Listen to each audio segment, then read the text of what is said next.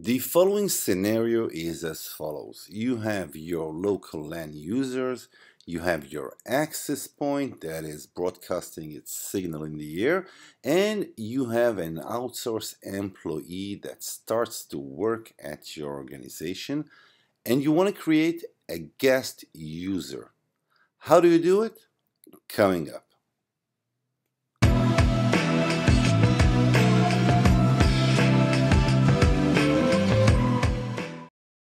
Creating a guest access involves several steps. Now remember, a guest access is mostly an, an account that has a limited time period. So let's start with a user group. Let's create a new group. Let's name it guests. And the type will be guest. Now from here it's quite self-explanatory. The user ID of the guest will be its email. Now you can use an auto-generated password that your FortiGate will generate, but let's use specify. And when we will create a new user account, you will see where to enter it. Now you can add up sponsor, you can add up company, and the period, let's add 24 hour period. So our account period will be one day. Now, the next thing to do is guest management, where we create our user account. Remember, our user ID is the user email address. Now, let's add up the password. Let's add the email itself. The company will be Forti Tip. And let's just make sure that the expiration time is one day the other thing that you need to do is to create an administrator that will handle the guest account. Let's name it admin guest. And let's add up its password, a simple password.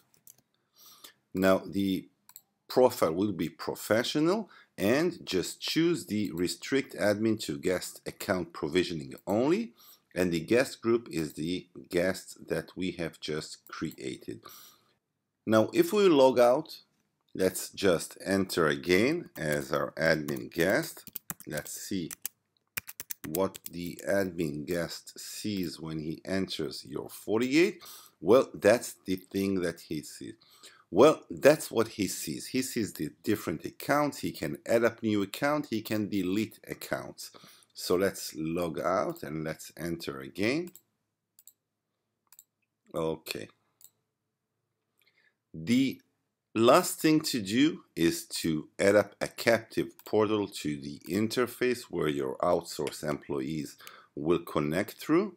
That's our interface, security mode, captive portal, and restricted to the guest group. Okay, so now we have user group, we have created the user account, we have chosen the password, but the password can be auto-generated and sent to our user email. And now let's move over to our Ubuntu device, which is connected to our interface. And from here we have the captive portal And there we have it.